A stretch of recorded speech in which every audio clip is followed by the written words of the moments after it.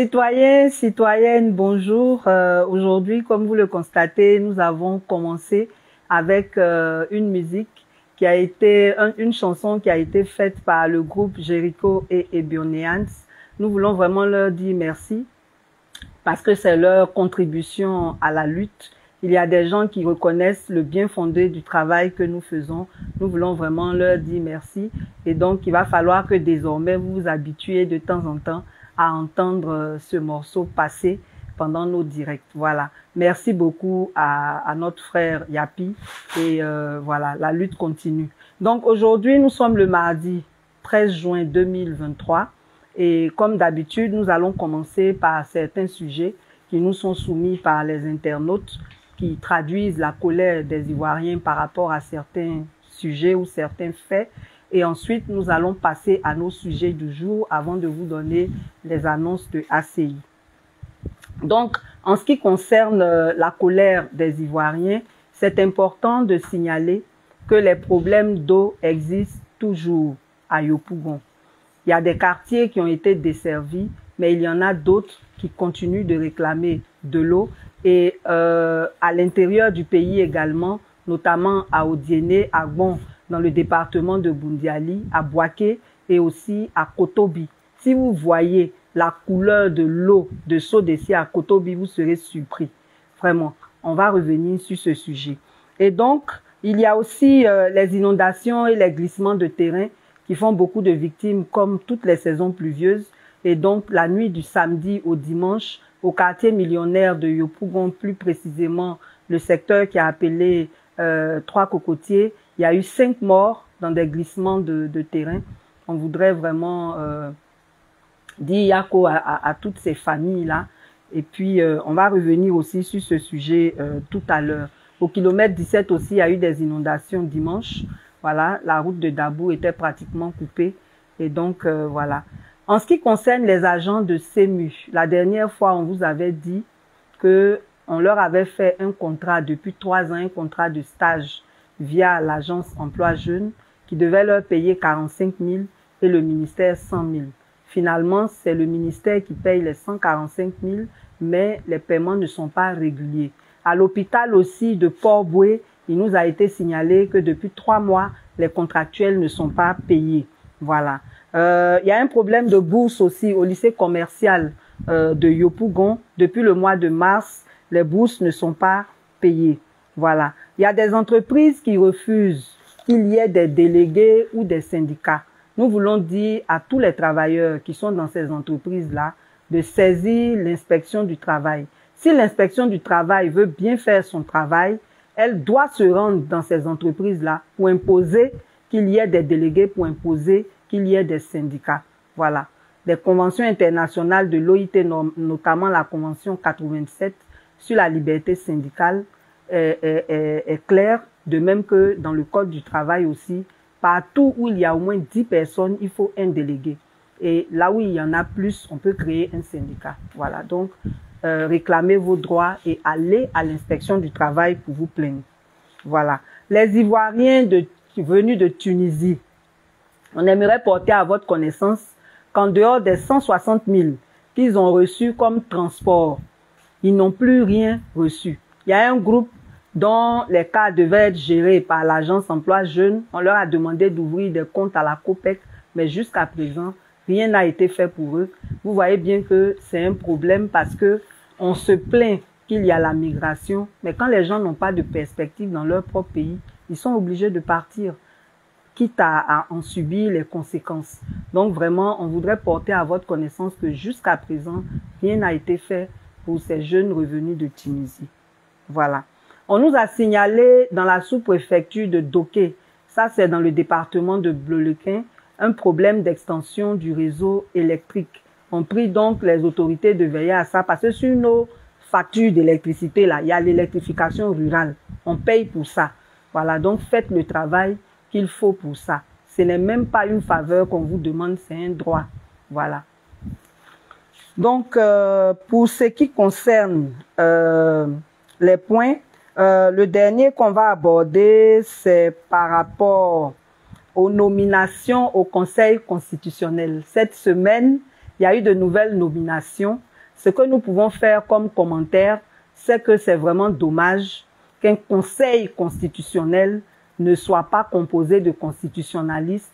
Il y a un seul constitutionnaliste parmi les neuf membres du Conseil constitutionnel et c'est vraiment dommage parce qu'en principe, un conseil, il regroupe des experts qui donnent leur avis sur des situations en rapport avec la thématique de ce conseil. On dit conseil constitutionnel. Donc, en principe, on devait avoir une majorité de constitutionnalistes. Malheureusement, en chez nous ici, c'est plutôt le copinage. On fait ce qu'on veut et c'est vraiment dommage. Voilà.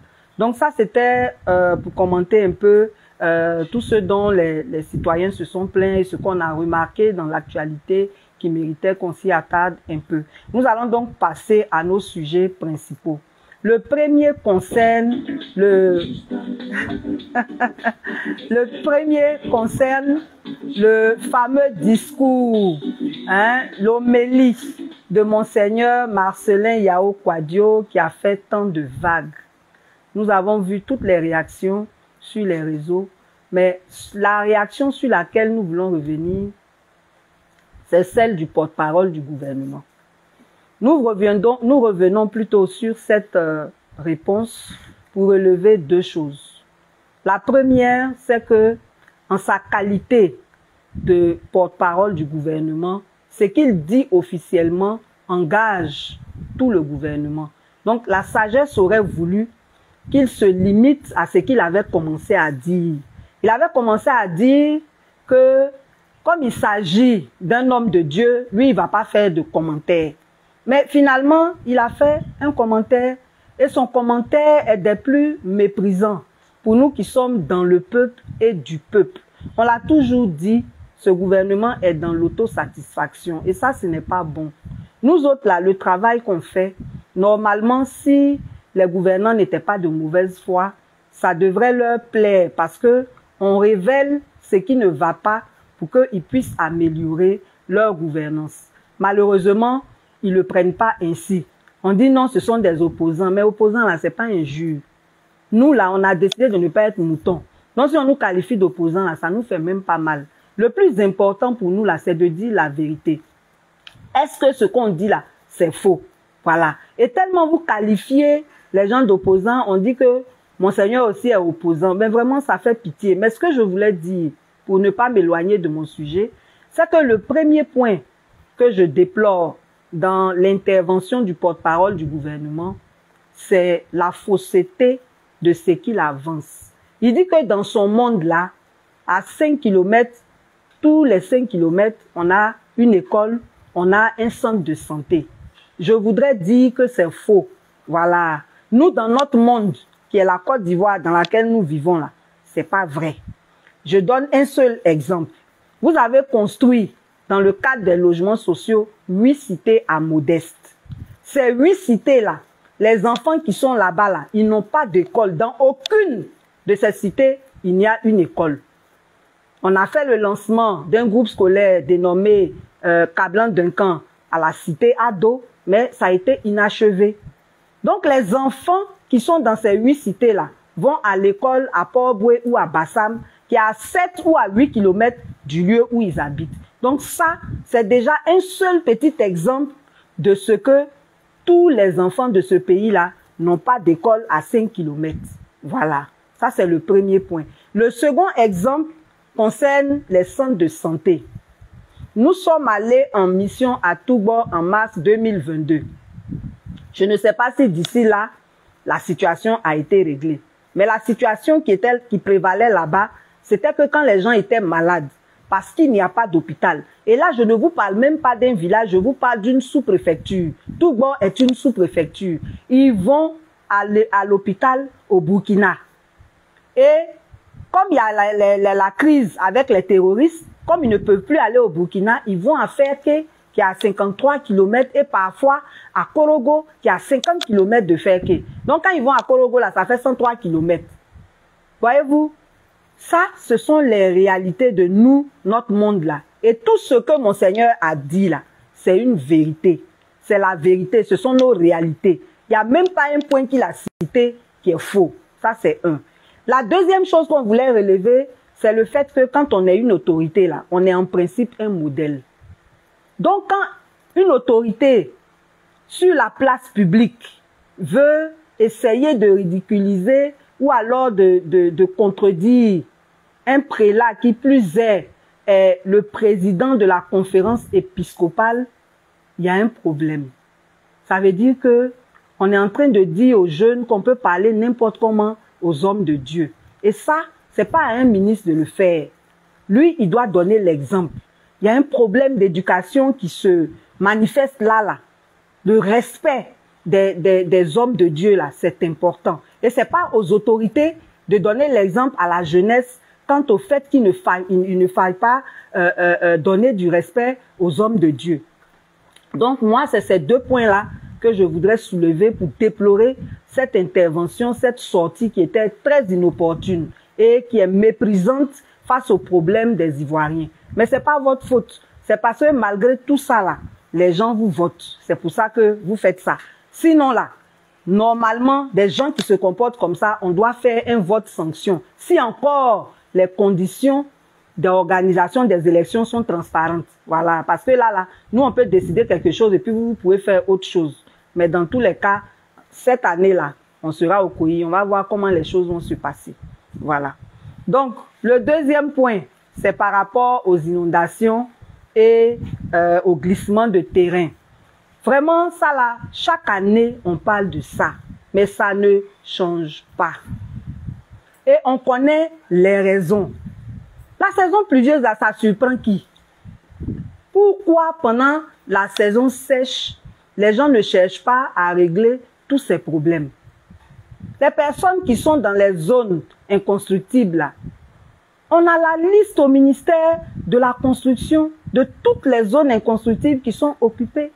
Pourquoi on n'organise pas les déménagements pendant la saison sèche ou pendant les vacances de sorte que quand la saison pluvieuse arrive, parce que malheureusement, le début de la saison pluvieuse là, ça coïncide avec le début des examens à grand tirage.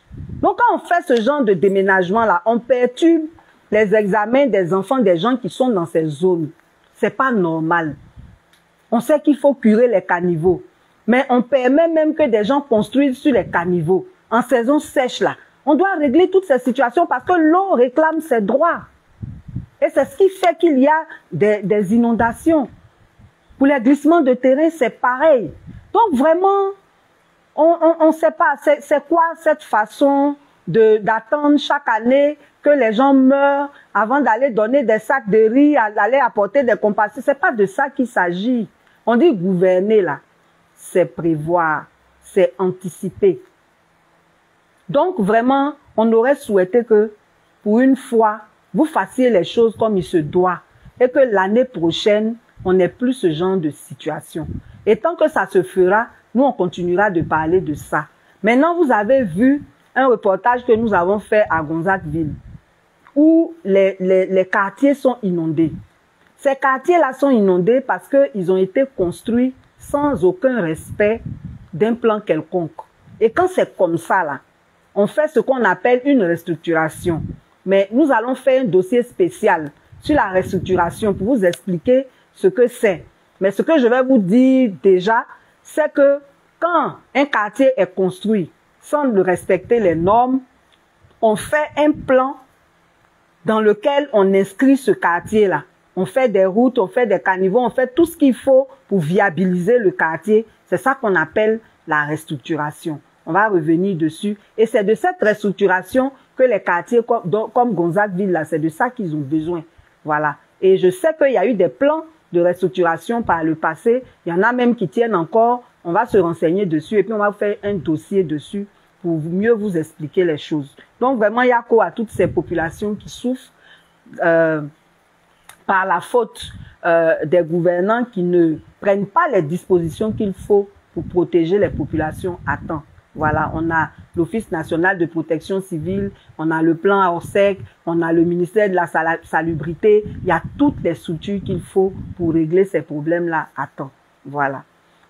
Bon, donc ça c'était pour le point euh, sur les inondations et euh, les, glissements euh, de terrain. Nous allons revenir encore sur les détentions abusives. On revient dessus parce que pour vous qui n'avez jamais fait la prison, vous ne savez pas ce que c'est. Voilà. Vous ne savez pas ce que c'est. Nous, on sait ce que c'est et on estime que c'est pas normal qu'on maintienne les personnes en détention de façon abusive.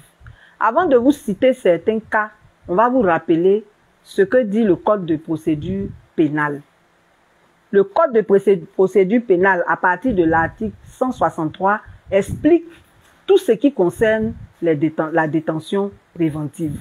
Et donc, dans l'article 166, on parle du cas des détentions, euh, on va dire, en matière correctionnelle. En matière correctionnelle, c'est-à-dire ceux qui sont euh, euh, coupables de délit. Voilà, ceux qui sont coupables de délit, là, c'est pour eux, on dit en matière correctionnelle, eux, là, quand on les arrête, on n'a pas le droit de dépasser six mois. Et si on doit dépasser six mois, non seulement le juge d'instruction doit motiver sa décision, mais le concerné et ses avocats doivent être informés de ce que ça va être prolongé. Il prend une ordonnance pour cela. C'est ça qui sont les règles. Donc ça veut dire que normalement, quand on est en détention préventive ou en matière correctionnelle, ça ne doit pas dépasser un an. C'est-à-dire c'est six mois renouvelables une fois. Maintenant, en matière criminelle, là maintenant, c'est pour les délits qui sont qualifiés de crimes. Ça, c'est un niveau supérieur. Donc là-bas, la détention doit durer huit mois. Et ce n'est renouvelable que lorsque le juge d'instruction saisit la chambre d'instruction en motivant évidemment euh, cette décision pour qu'on prolonge. Et si par après, euh, selon les investigations, il y a lieu encore de prolonger, on fait une requête auprès du juge encore. Voilà, donc là-bas, c'est renouvelable deux fois, mais il y a des procédures qu'il faut respecter. Ce qui se passe, c'est que chez nous ici, d'abord même, les arrestations ne sont pas conventionnelles. Il y a des gens qu'on enlève au lieu de les arrêter. Parce que quand on veut arrêter quelqu'un, il y a des procédures qui sont normales. Chez nous ici, c'est pas toujours on respecte. Je vous donne par exemple le cas de monsieur Yapoga.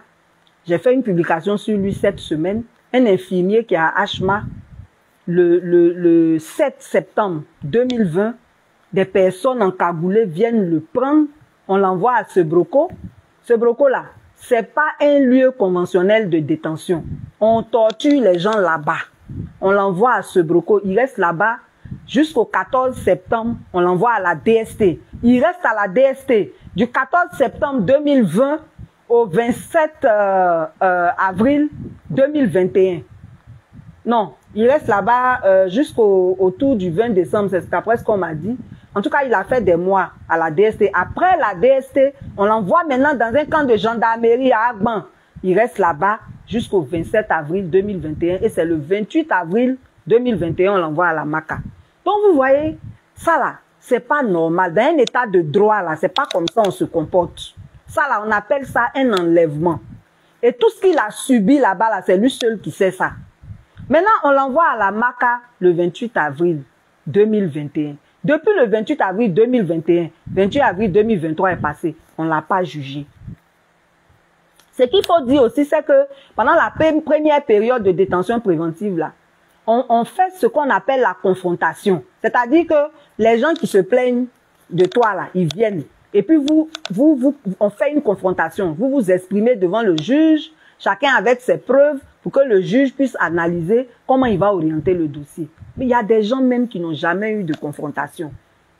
Je vous ai parlé du cas du, pauvre euh, euh, Axel Bleu euh, Boris.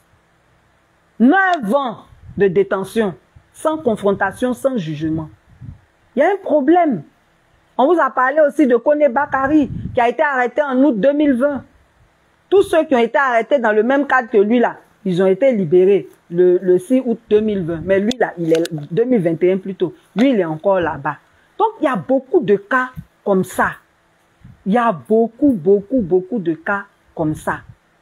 De détention préventive abusive qui ne respectent pas les normes. Et il y a des gens dans les justices là qui se permettent de perdre les dossiers des gens. Et il y a des greffiers qui font du chantage aux parents des détenus. Ils bloquent les dossiers carrément. Le juge prend sa décision et puis le greffier est assis dessus. Parce que c'est lui qui doit faire tous les actes qu'il faut pour faire avancer le dossier. Il y a des greffiers comme ça. Il va arriver un temps où on va commencer à citer leur nom parce qu'ils exagèrent. Ils exagèrent. De quel droit vous vous permettez de bloquer les dossiers des gens? Quand vous prêtez serment, là, vous entendez vous-même ce que vous dites, non? Et puis vous faites autre chose. C'est pas sérieux. Donc, il y a toutes ces situations-là qui font que il y a beaucoup, beaucoup, beaucoup de personnes qui sont en prison de façon injuste. On parle de surpopulation carcérale, mais c'est dû aussi à tout ça. Il y a des cas aussi là qui sont très graves, j'en avais déjà parlé. Le juge te juge, il décide qu'on te libère. Maintenant, le PV de ton audience là, on ne fait pas. Donc, on t'a libéré et puis tu es en prison. Alors, il faut qu'on fasse ton PV là, qui va être acheminé maintenant chez le régisseur pour qu'on te libère. Tout ça là, c'est pas normal. Les gens ne font pas leur travail. Tout est devenu argent, tout est devenu corruption et les enfants des gens souffrent là-bas. On dit c'est année de la jeunesse là. La majorité des cas là, il s'agit des jeunes. Donc essayez de voir ce côté-là. Monsieur le ministre de la Justice, je ne sais pas comment vous allez faire, mais demandez à vos juges, à vos greffiers de faire leur travail. Parce que c'est pas bon même pour l'image de la justice ivoirienne, qui devient finalement le lieu même d'une injustice criade. Et ça, c'est pas sérieux. Voilà. Donc, c'est un peu cela.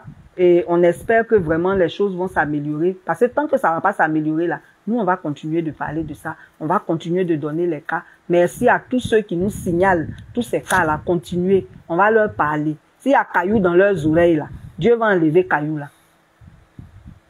Bon, le dernier sujet que nous allons aborder, c'est l'augmentation que la CIE, ou du moins le ministre en charge de l'énergie, a annoncé. Dit qu'à partir du 1er juillet 2023, il y aura une augmentation des factures d'électricité, une augmentation de 10%. Et on a voulu nous rassurer sur le fait que ça ne va pas nous toucher, nous autres. Mais le fait est que ce n'est pas vrai. Mais avant d'arriver aux commentaires de ça là, je voudrais vous rappeler quelque chose. En 2017, la CIE a fait la promotion des compteurs à 4.